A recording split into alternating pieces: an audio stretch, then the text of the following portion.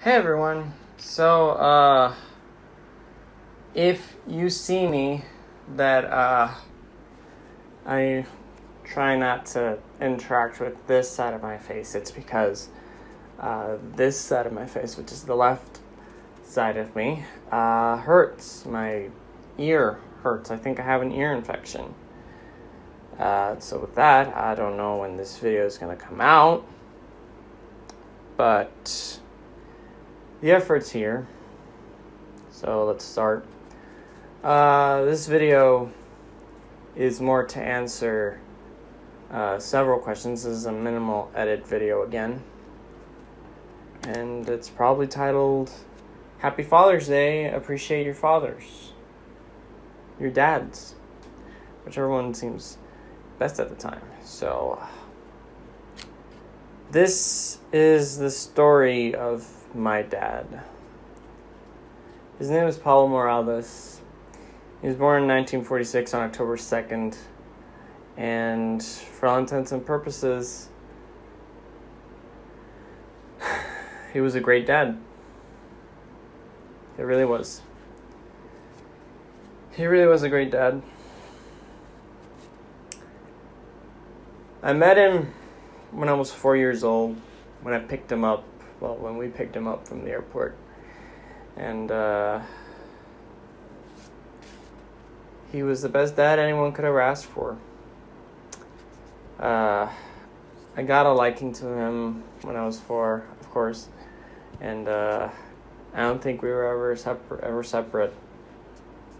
By then, in those days, uh, he was a real handyman when it came to like average stuff in the house. If you didn't know, he would call someone. He had dignity, but whenever he felt like he could do something, he would do it himself.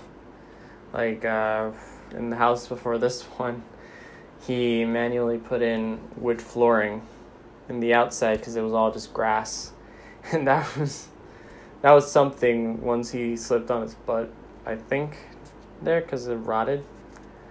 Uh, one time we were playing tug of war. Like I was tugging on his hands, and he looked back like this behind me, and he let go. That was the funniest memory, because he let go, and I ran to my mom. He's like, "He's mean. He's mean. He's evil."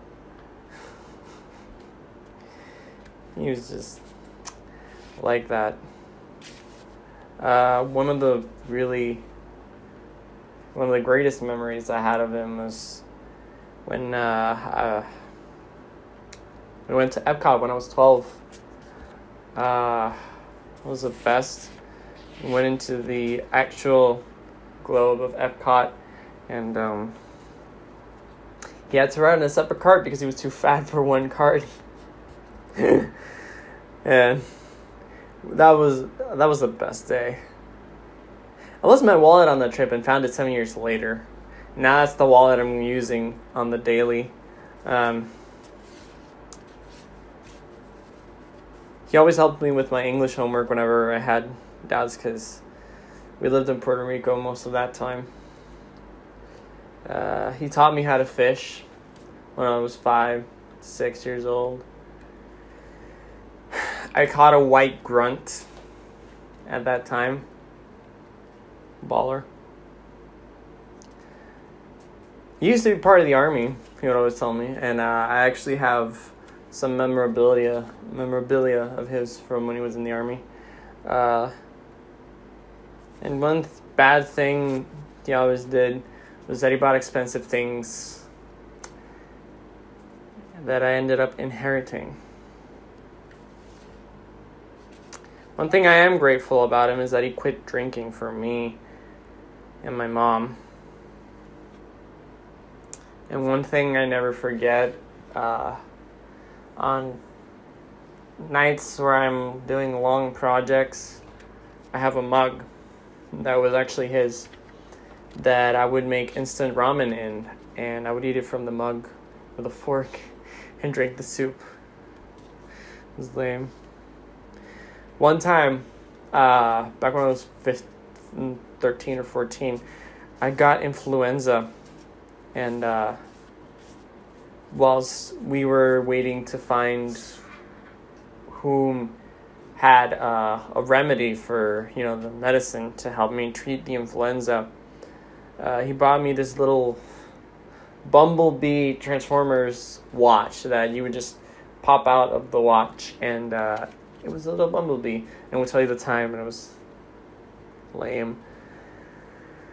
It was lame. And around that same time, he drove for about four to five hours from home to a pharmacy to get me that medicine and give it to me. He would tell me some wild, wild stories I never believed.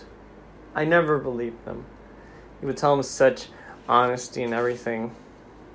And I would be mind blown. Because at that age,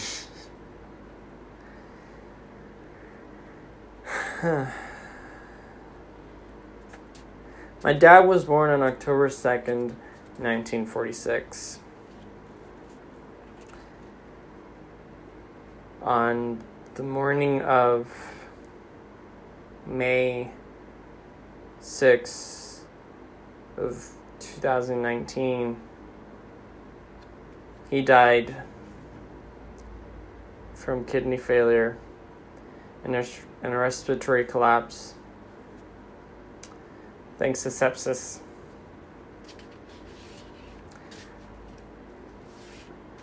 And before he died, the very day before he died, while I was visiting him at the hospital, I was reading him the first finished edited chapter of my book. And as I was reading him, I was just focused on reading it to him. And uh, I wasn't really looking at his face. Because I was just intent on telling it to him. Because I wanted it to mean something. I wanted him to hear it, to have it. And uh, my mom told me that when I was doing so, whilst people were talking and stuff was happening, he was looking intently at me. Like he was focusing on the story that I was reading him. And just the day after, when I got the call when I was in college, and mom told me that he died. Man, that was a day. I was just doing classwork. My phone rings, I'm thinking, hey, his mom's bothering me for some reason. Better pick up the phone. I told my professor, uh, my mom's calling me. I'll be right back. It's it's in a. It was a national university college, and like the professor was really understanding. And so I told him my mom's calling. It's probably something important. Uh, I step outside and I pick up. I tell her, "Mom, I'm busy. What is it?"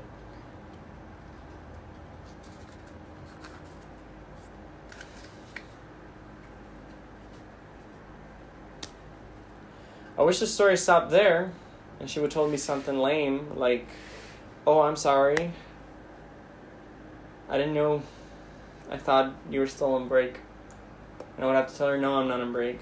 And then I would keep visiting my dad every day until he finally got out of the bed and we would live a life together of him teaching me things and I wouldn't you know be here telling you that instead she told me that he died because of respiratory failure, because of sepsis and kidney failure.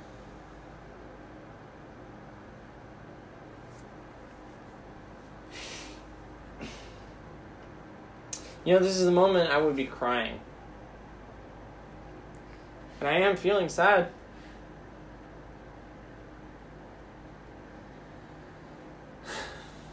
But I can't.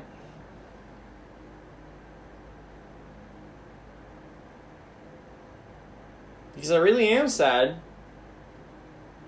Because the man that would spontaneously, every other day, every weekend, tell me and my mom, pack your things, we're going to San Juan. To go to a random hotel so that he could go to Best Buy and buy some random camera. And we would have some random experience where we would just go to the go the day to San Juan and then drive back. It was gone. The man that would teach me things that I never knew about cameras and computers and stuff. He's gone. The man that helped me with my English homework is gone.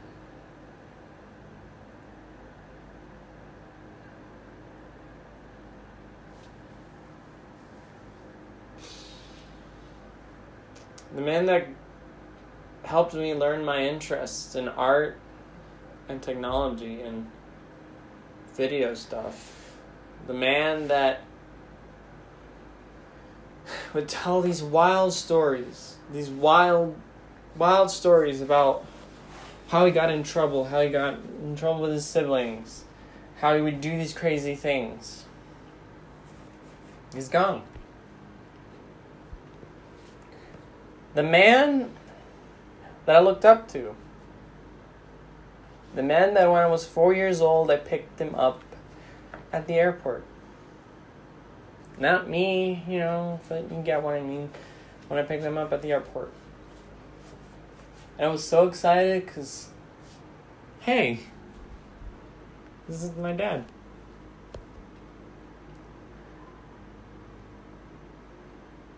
I finally had a dad. Just a four year old little piece of shit. I only got to say hi, Dad.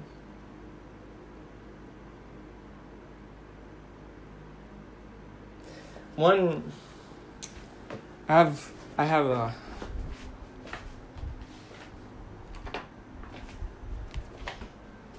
little lame thing here on my notebook that I read at the day of my funeral. At the day of his funeral, I mean. Uh,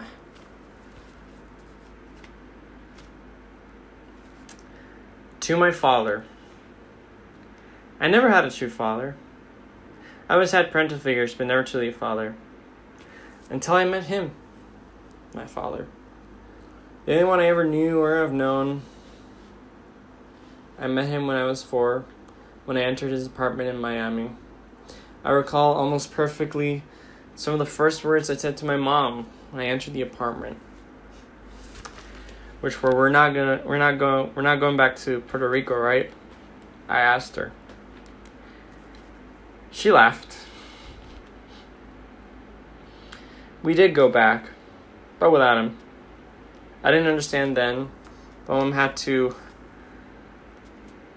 I told him if he didn't quit drinking for her and me, she would not be with him. She saw what he was doing was wrong, so he quit for us, for her and me. That was one of the first few things he did for us. Next was buy a house with mom. Then next, next was help with my education, which was the best of it. Not buying toys for me or anything him caring about me. He always said he loved me and that he cared about me. And not just me, his friend his friends and his real kids. Kids which I valued and looked up to. But mostly him. Since he was my father. And he made sure I was always okay.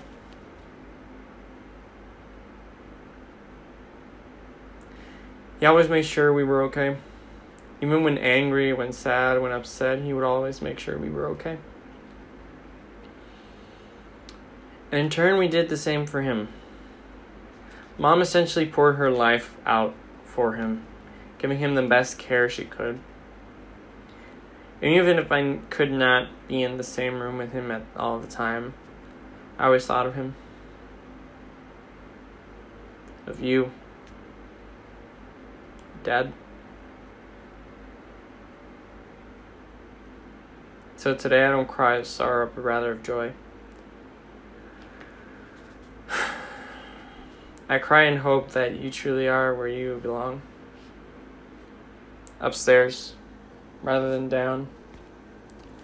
And I especially hope you're up there with Grandpa,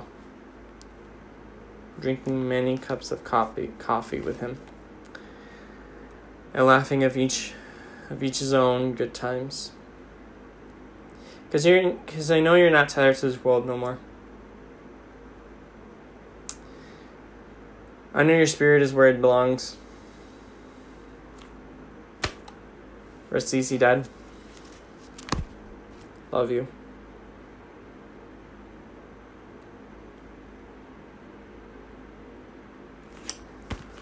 I'm only 21.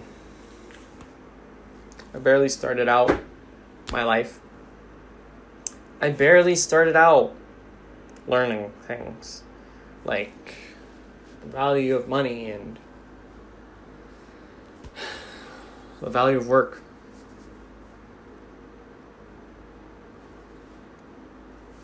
Don't don't undervalue your father figure. Your true dad. Don't undervalue them.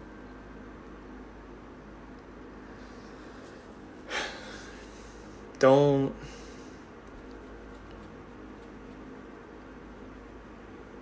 don't forfeit them just because they did one wrong thing. Don't forfeit them because they made a mistake once or twice. If they are your father, your stepfather, your uncle, or grandpa, even in some cases, don't undervalue them. Don't toss them to the side when they tell you don't do this because they care care about you. Cause now I won't I won't be able to do that.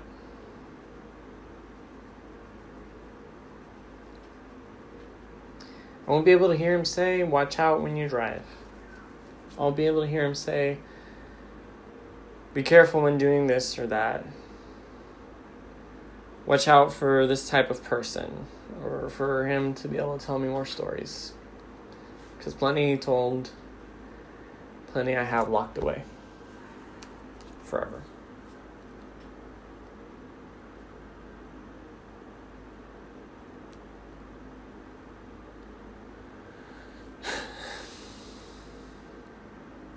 Happy Father's Day, Dad. I miss you.